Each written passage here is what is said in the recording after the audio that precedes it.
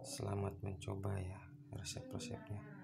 Bahan-bahannya simple, mudah, dan cara nguleknya juga gampang, gak usah digoreng.